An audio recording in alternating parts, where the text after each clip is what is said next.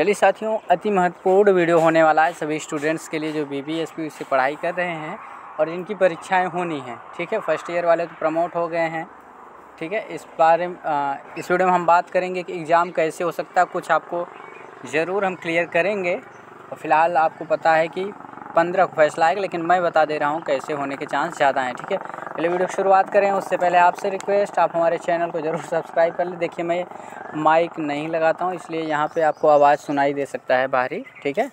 तो चलिए, इसमें बताता हूँ आपको कैसे होगा। पहली चीज़ तो इतना क्लियर हो जाइए, आप लोग चैनल सब्सक्राइब करेंगे, टेलीग्राम चैनल से ज़रूर जुड़ जाइए, वहाँ पे लगातार मॉडल पेपर दिए जा रहे हैं, उसके बाद आज से वीडियो के ज़रिए भी दिए जाएँगे, फिर उसके लिंक वहाँ पे दिए जाएँगे। अब चलिए वीडियो शुरुआत करते हैं।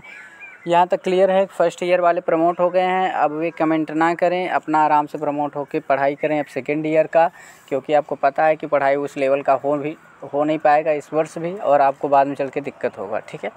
एंड जो सेकेंड एंड थर्ड वाले हैं तो मैं आपको बताना चाहूँगा कि देखिए, आपके एग्ज़ाम तो होंगे, इतना तो आपका क्लियर है।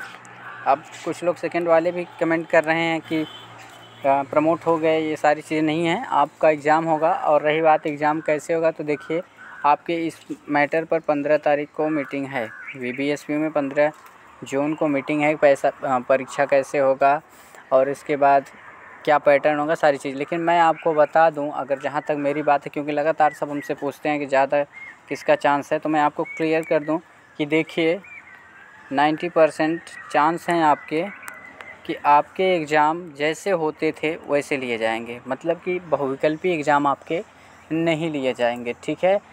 इतना आप समझ लीजिए नाइन्टी परसेंट चांस है कि आपके एग्ज़ाम बहुविकल्पी नहीं होंगे। अब दस परसेंट उनके लिए छोड़ देते हैं कि भाई कोई अलग से तैयारी कर लें तो भले से आपका एग्ज़ाम बहुविकल्पी करा लें, लेकिन मेरे निगाह में बहुविकल्पी एग्ज़ाम नहीं हो रहा है।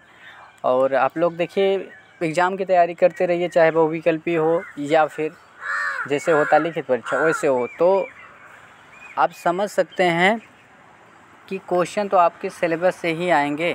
तो आप लोग पढ़ाई करते रहिए और एक चीज़ मैं कहना चाहूँगा, ज़्यादा पढ़ाई आप अपने बुक से करिए और उसके बाद जो चीज़ें मैं दे रहा हूँ, जैसे एक पेपर दे रहा हूँ, उसके क्वेश्चन को ज़रूर याद कर लीजिए और उसके बाद जहाँ बहुविकल्पी हैं, वहाँ के लिए बहुविकल्पी भी रहेंगी। सब सब कुछ दे रहा हूँ, उसको पूरा वीडियो वॉच करिए, उस पर काम करिए आप लोग।